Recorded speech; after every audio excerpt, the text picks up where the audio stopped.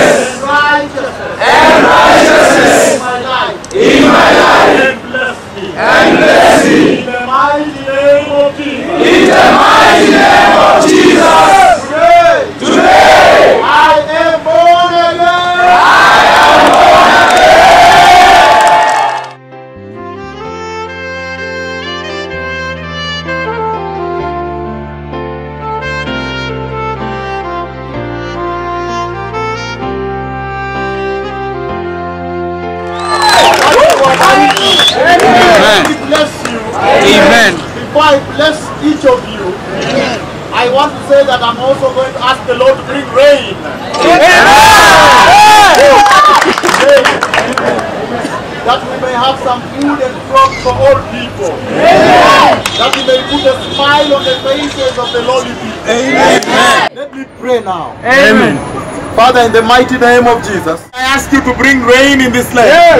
That there may be food crops in this land. That these people may not hunger. They may not starve.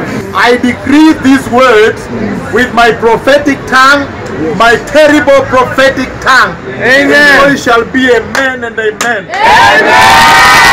So precious people, I have blessed you and your country. May the Lord give your blessings. Shalom, shalom. Amen.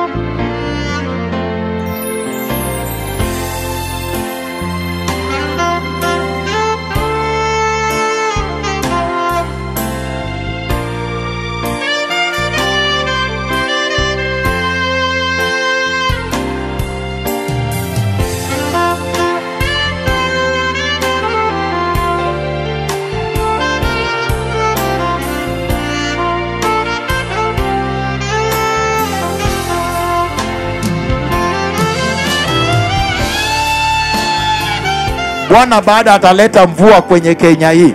Katika jina la Yesu nimesema haya tena, ataendelea kuleta mvua, watu wapate maji, hata watu waanze kupanda mimea.